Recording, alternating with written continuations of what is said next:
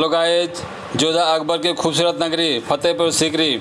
यहाँ जगह पर देखिए, चारों तरफ़ से कालीन बिछाया जाता था और यहाँ अकबर के दरबार लगता था और जो भी कोई इंसान गलती करता था, इस जगह पर सज़ा सुनाया जाता था और हाथियों के पैरों से कुचला जाता था।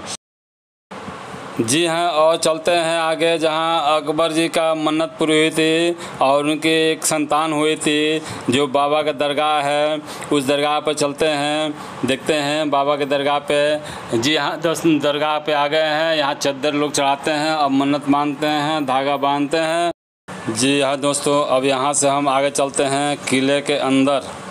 तो हम किले के अंदर आ गए हैं, देखिए, ये बुलंद दरवाज़ा का पीछे का सीन है। और ये हम यहाँ से सीधे पूरे महल को देख रहे हैं और देखिए कितना अच्छा है, खूबसूरत है। और यहाँ पे आगे चलते हैं, ये देखते हैं बाबा का जो दरगाह है, इसका पिलर जो लगे हैं, दो पिलर हैं। ये दोनों पिलर के ऊपर छत पे जो बारिश होता है, वो पानी, बारिश का पानी सीधे पिलर से होते हुए बाहर चला जाता है।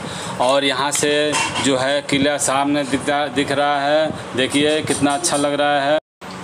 हेलो गाइज़ वीडियो के एंड तक बने रहने के लिए धन्यवाद. थैंक यू गुड बाय मिलते हैं अगले वीडियो में. तब तक लिए सत श्रीकाल नमस्कार.